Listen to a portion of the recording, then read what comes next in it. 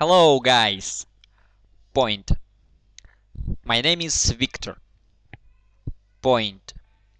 And I'm from Russia. Point. My company creating audiovisual enhancement to speech recognition systems. Point and you can see how it really works without keyboard.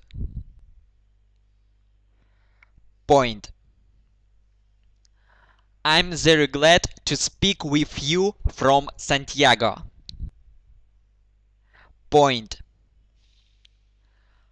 Because we are participating at the program of Startup Chile.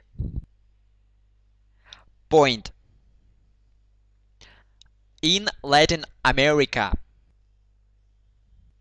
We are creating version of our solution for English-speaking people and for Spanish-speaking people too. Point please download our application from our site.